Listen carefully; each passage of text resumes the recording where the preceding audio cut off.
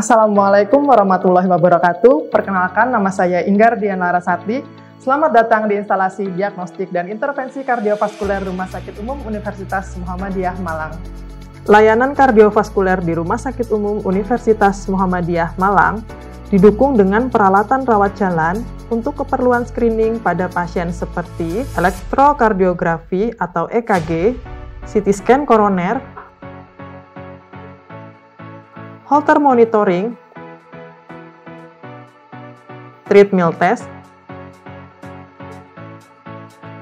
dan ekokardiografi. Kami juga memiliki fasilitas kamar perawatan intensif cardiovascular care unit atau ICCU yang ditunjang dengan peralatan medis lengkap dan canggih.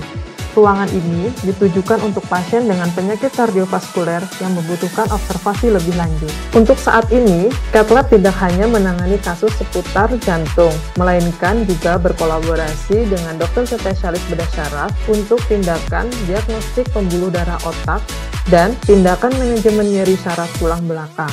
Kemudian, dengan dokter spesialis bedah torak kardiovaskuler, dan dokter spesialis penyakit dalam konsultan ginjal hipertensi dalam melakukan tindakan senoplasti, serta dokter spesialis lainnya yang memiliki kompetensi di bidang tersebut.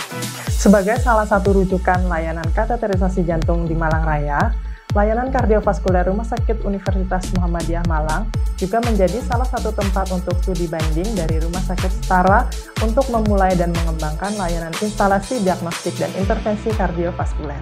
Selain itu, Layanan kardiovaskuler memiliki peralatan yang canggih dan tenaga profesional di bidangnya, yang terdiri dari tujuh dokter spesialis jantung dan pembuluh darah yang memiliki kemampuan intervensi kardiovaskuler, dua dokter spesialis bedah syaraf, satu dokter bedah torak kardiovaskuler, dan satu dokter spesialis penyakit dalam konsultan ginjal hipertensi.